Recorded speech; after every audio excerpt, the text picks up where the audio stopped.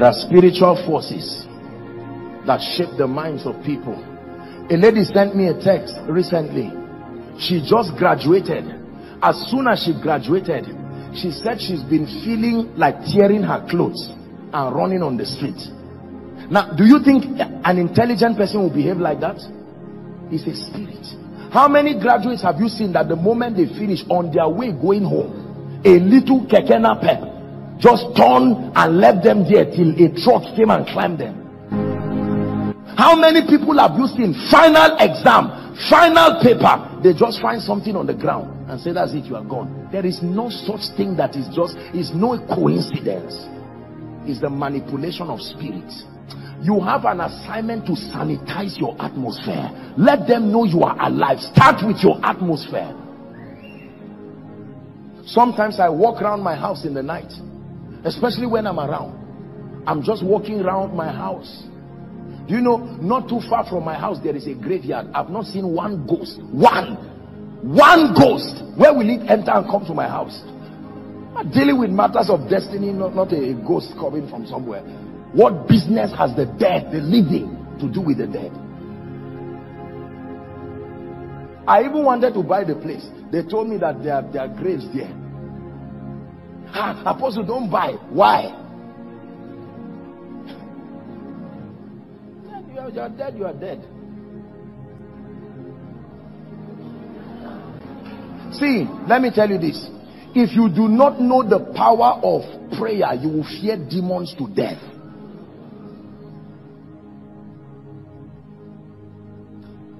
Hallelujah. We sit down and allow spirits to roam around our houses. I know a man, true story, in Jos years ago. He was slapped by, I don't know if it's a ghost or a spirit. He, he works then in the teaching hospital. And he said he used to hear, that means the, um, what they call that place, doctor? Where they keep mortuary. In the night, while doing his work, true story, you will hear like discussions you know like people have woken up and they are talking true story and one time he attempted he shouted according to him. He said shut up. And he i don't know whether he, he wanted to open the door or something. I stand before the god of heaven and i lie not. And the the the spirit slapped him. Until that man died he did not recover. Spirits are real. Don't wait till you see them. They are real my mother once told me a story. They went to bury someone. This thing did not I'm, I'm, not sure it's more than six seven years. They went to bury someone and physically as they were dropping the coffin fire physically fire came out and killed some people. Not parables not vision. Fire came out and killed some people. Have you seen people that they buried and you found the man back in your house all these things will remain when there is no prayer. Just saying i am the righteousness of god in christ. Hallelujah. That's not the way it works. We are legislators.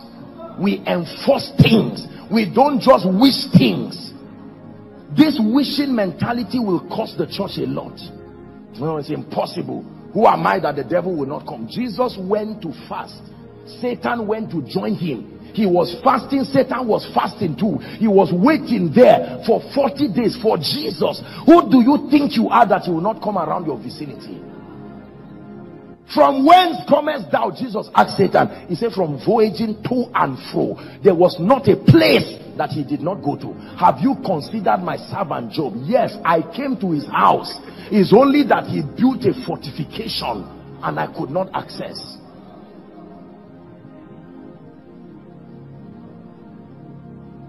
Hallelujah. Right now, people are afraid. Seven o'clock, people have to lock up their, their shops in many areas.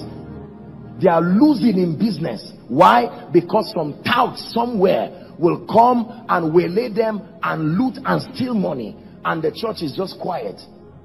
Don't be like Esther, but be like Esther.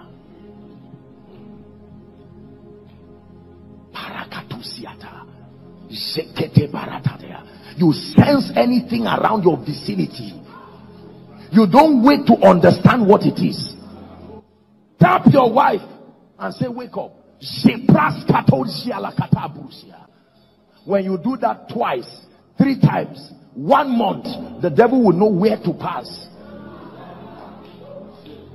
See, let me tell you this. Whatever you allow to happen to your life, don't blame God. Whatever you allow to happen to your family, don't blame God. I'm, I'm waking us up that territorial dominion truly happens on the strength of priesthood, not a need driven prayer. Hallelujah. I heard of a man recently for one, four years. I, am I'm, I'm trying to be sure so that I don't exaggerate anything. Four years, the wife refused to get pregnant. The man was tired one day. He came back from fellowship. The wife was sleeping. He came and knelt down and put his hand on top of her, her, her stomach and prayed that woman into pregnancy.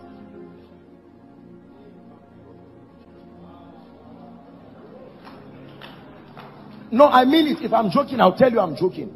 He was tired of this thing and said, No. He knelt down. You just sleep. You are my wife. I'm the one who paid your dowry. Let me face this spirit of barrenness. See, there are times in your life you need to get agitated spiritually and stop allowing nonsense to just happen within your territory, within your family. Hallelujah. I was so encouraged when I heard it. Literally pray, not like impartation or yet. No, he sat down, knelt down on top of his wife's stomach and prayed in tongues until that report changed. You can pray some things out of your life and you can pray some things into your life. There are times that you can put your job, your your your certificate on the ground and lock yourself from 12 to 6 you pray until where you did not apply called you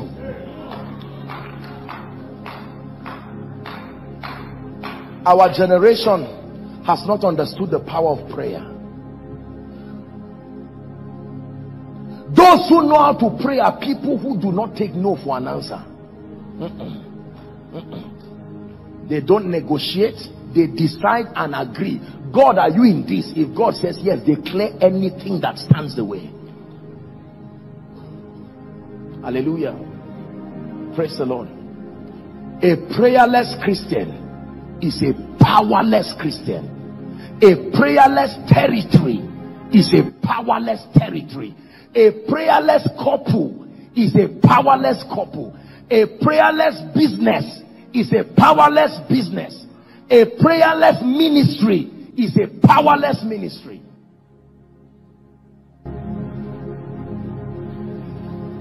Please sit down. Boy, our time is gone.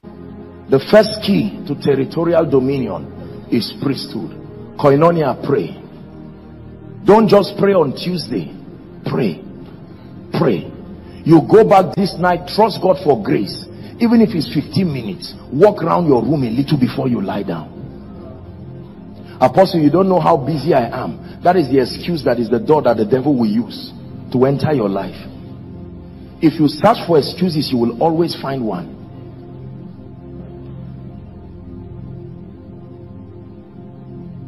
Let me tell you this. I have taught you and I pray you will believe it. Master the power of night prayers. Master the power of night prayers a generation that sleeps all through the night into the morning is a generation that will not be powerful.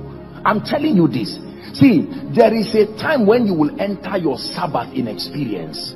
A young man, personally, now it's not, I'm not saying this is the Bible, it's my personal understanding that a young man who actually goes to bed by nine to wake up by six and you don't have time for your destiny, you are building rubbles the night is when men who are men pray. The night is when men who are priests pray. The night is when men who are watchmen pray. The night is when gatekeepers of destiny pray. Let me tell you sincerely, I have not slept in days like real sleep to take out time and sleep. It's a sacrifice. You are supposed to get a job that God will use to change your family and your territory.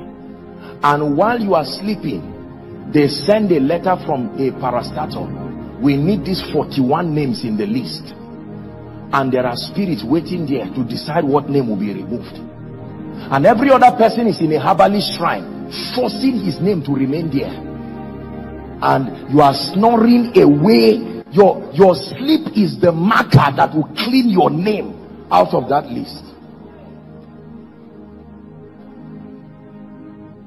you can stay and insist i may not have access to the office but i can pray I can pray. I've seen the ministry of angels in my life. I know that angels are real. I know that they are real when you pray. There are times I've tried to look for things and I could not find them. And I prayed and slept. And in my dream, I got up and went to where it was. And I woke up and went there physically and carried it.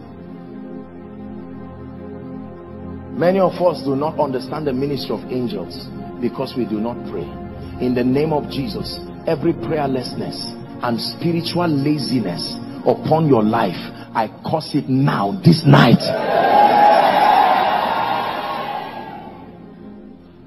In the name of Jesus, all the movies, internet, browsing that distract you, I'm not saying they are wrong, but if you can sit down and distract your prayer life, I separate you from it now.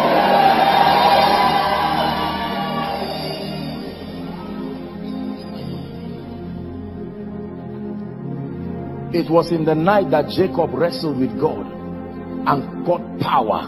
It was in the night that God came to Solomon and he received something. Men receive things in the night. Don't waste your night Charge your atmosphere.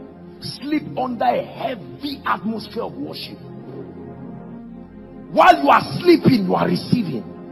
You wake up in the middle of the night and you know an impartation is ongoing. See, let me tell you, these are not things we are, these are things we have practiced for years. Strong worship in that atmosphere while you sleep. And you will keep having all kinds of dreams. Sometimes the dreams will show you the root cause of things. Sometimes you are hearing a message and in the dream you will start acting the message. You are alive to the message. Oh lord help our generation. Help our generation. Help our generation in the name of jesus christ hear me if you are a minister of the gospel in this place, that means you are in ministry or you are trusting God to be in ministry. Please wake up. I deliver you from laziness. Hear me. Ministry is not about suits and agbada and protocol. Ministry is serious business. You know, all this, and I say this respectfully to our younger generation most of these boys do not understand the gravity of attack that can come to your life when you are in ministry. They are just happy and just loiter around in pride.